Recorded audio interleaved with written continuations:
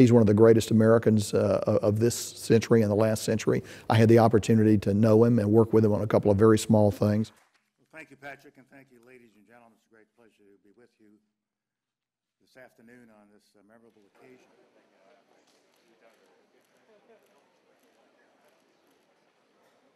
I think his legacy, uh, both inside the military, in the Department of State, and across the, the entire nation, is going to be something that will be around for a very long time.